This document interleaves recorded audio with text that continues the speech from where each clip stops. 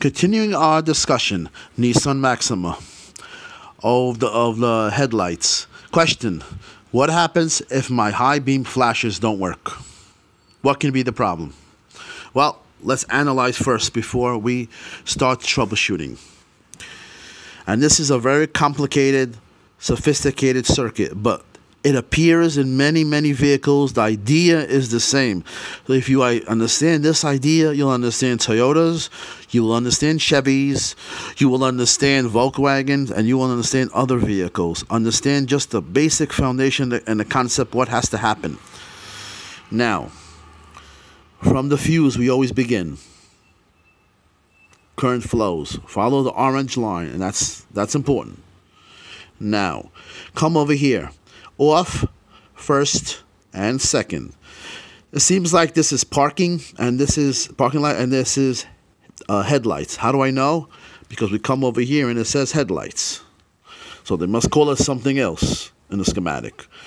Anyway, regardless of what the terminology that they use, we have to have this. If you notice, the only position that the switch is connected to something is when it's in it's second. If you notice, this is not connected to anything, and I labeled all of these contacts over here. A is not connected. B, which is first, is not connected. The only one that is connected is the second, connected to this. So therefore, and this one is, I made D, this one I made E, and this one I made F. Now, follow this. We put the switch from off to second, which is headlights. We go over here. Now, we have a choice. We could put either in low, either in high. Because you see, in low position, when it's in D, it's connected to a, a, a, a wire. When it's in high, it's connected to something in pass, not connected to anything. That means we cannot use this switch for pass or part of this switch. Other thing is, you see these dotted lines, and I made a statement over here. Dotted means switches together. That means all, these are all gang together. In other words, like, these are when I move this one, I move this one, and then I move this one, and then I move this one simultaneously. I, it's like the Siamese twins. When one moves, the other one moves. That's why I call it Siamese twin switches. I numbered one, switch number one, switch number two, switch number three, and switch number four. And you'll see later on why I had to do that. So, let's go first low, low, uh, uh, uh, low beam. We follow the path here, here. Remember, this is double filaments. Over here, we have a complete path, so this will light, and this the rest of it will go to daytime running light control unit. Now, what about the other one? That's for the left side. What about for the other side? Well, look at this over here. Follow current flowing here. Current flowing here. Remember, we have to be in second. Second is headlights. We have to be over here, and we have to be in low. Okay, for this switch also. So only one makes contact here, here, here here to ground. So this will take care of the right low beam. This will take care of the left low beam. This, from this fuse, will take care of the right low beam. Now, what happens if we want to put it in high? High beam we want. Okay? Flip the switch.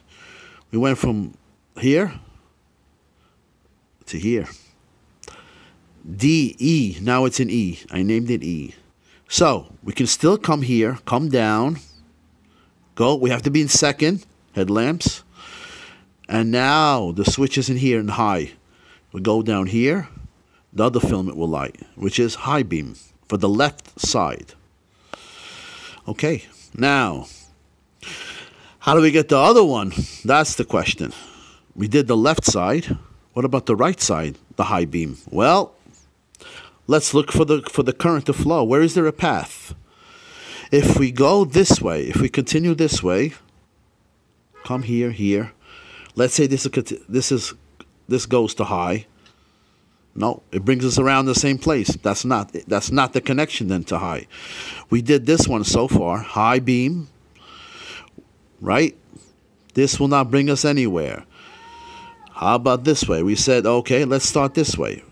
We said before this will is for low. How about for high? This switch is now here. Guess what? Come over here. High. Follow this. This is now in this position. It's in the high, going from here to here. So, and there is a connection. High goes here. The orange became green now for high. I don't know if you noticed that. High, high, high beam indicator with light that you have high beam on. But look at this. It's not going to this side. It's not going to the right headlamp. That's where it's going. Oh, wow. It's going to daytime light control unit. And then from there, follow it, that will light the right headlight. So, how difficult is that? In other words, this will help us for the left side, high beam. But for the right side, there is no connection from here to here. The only connection that we have is guess what? From here to here. The only connection that we have from the switch is to tell us the high beam indicator is on. And then it has to communicate to this module and then it'll turn this on. And by the way, daytime running lights, hint. That means it turns on the lights also. Daytime running lights. High beam also. Right? Difficult, right? So, and the next video we're going to do is going to be to pass the flashers. Continuing the question, my high beam flashes don't work. Tune in for the next video. Thank you.